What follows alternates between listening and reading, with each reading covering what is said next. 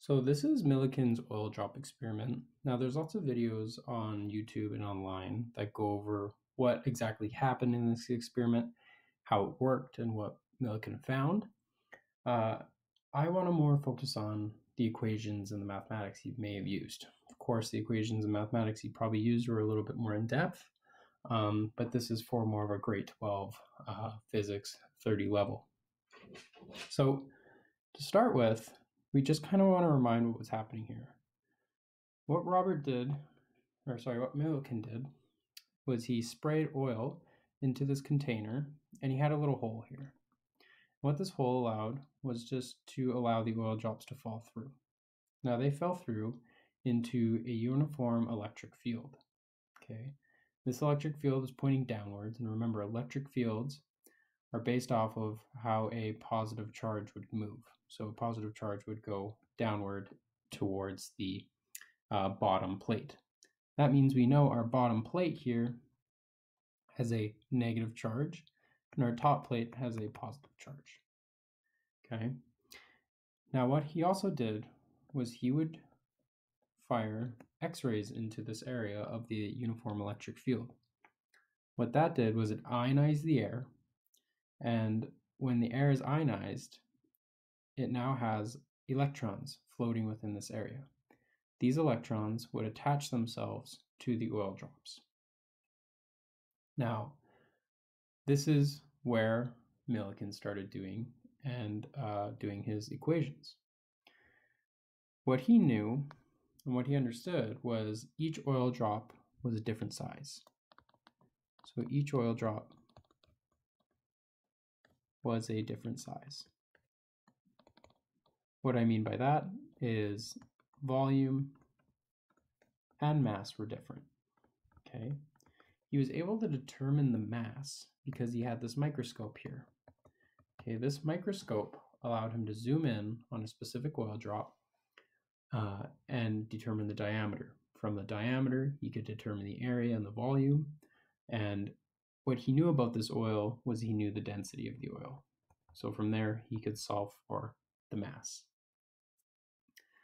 Now, something else to understand is since each oil drop was a different size, uh, these electrons and the amount of electrons that would gather onto these oil drops would be different. Okay, and at this point, he didn't know they were electrons. They were just negative charges, and he just realized that these things were negatively charged. So each oil drop each oil drop would have different charges.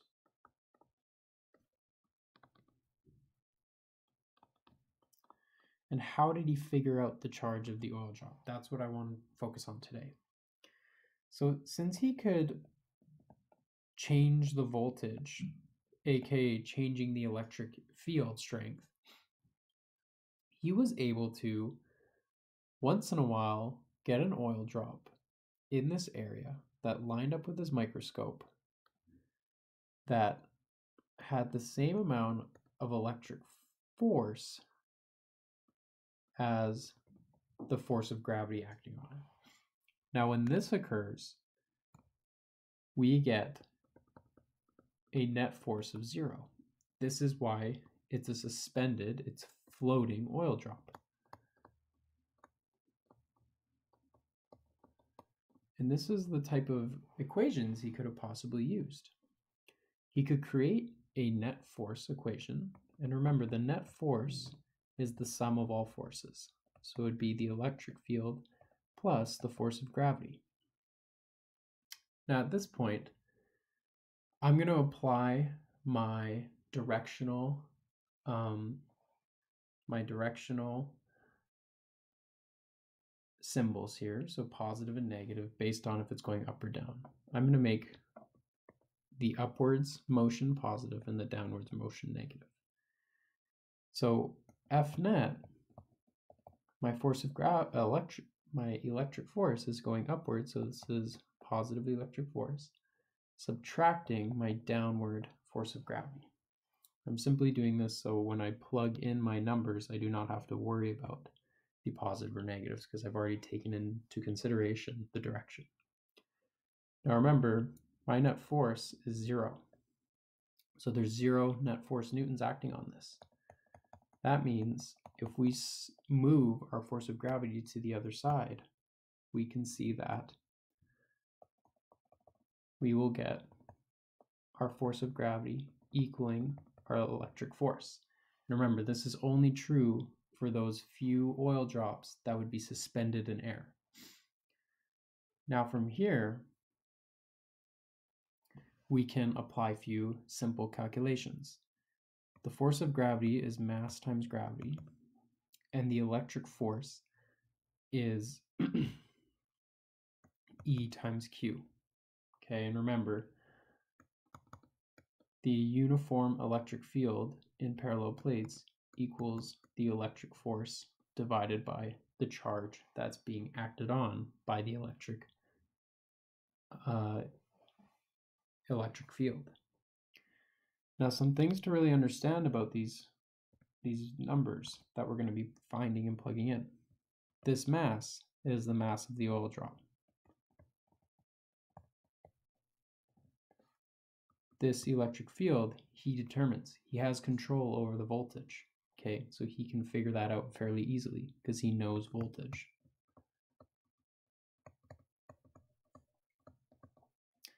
And then Q, Q is the charge of the oil drop. And it's important to remember each oil drop would have different charges.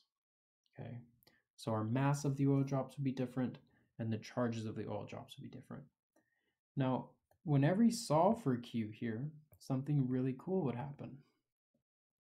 Okay, so if we manipulate this formula, we have a very simple and elegant equation that we can solve for the charge of the oil drop. Okay, so this is the charge of oil drops. Now remember, they're all different. So if we go over and maybe look at a few possible charges of the oil drops, something really cool was occurring. And this is what he was able to prove in this experiment. He figured out that each number was a multiple of a very special number.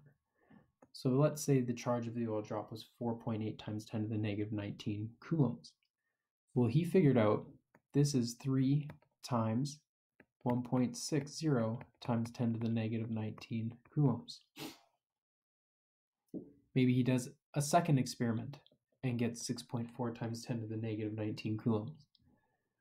Well, he was able to figure out, well, this is 4 times 10, 4 times 1.6 times 10 to the negative 19 coulombs.